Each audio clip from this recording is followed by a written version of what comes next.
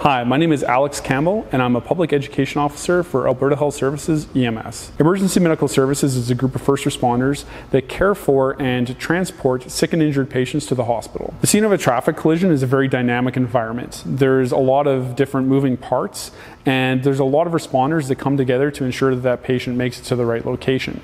You have the role of the fire department, which is, of course, ensuring public safety, making sure the roads are blocked off, ensuring that that patient is extricated out of the vehicle.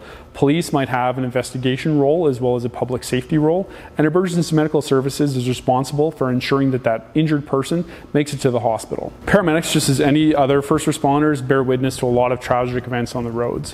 When we respond to a traffic collision scene, we can see either people that are, you know, very injured. Um, occasionally, we see deceased people, which is always an unfortunate situation.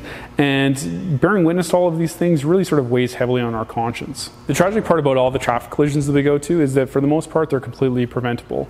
Whether it's impaired driving, distracted driving, or not driving to the weather conditions, there's so often that a personal choice that someone makes could have prevented the accident. If there's one thing I could say about traffic safety, it's that the decisions that an individual makes can have a massive impact. Whether it's picking up your cell phone to check a text message, getting behind the wheel after having a couple drinks, or driving too fast for poor weather conditions, those decisions that everyone makes can have a very massive impact.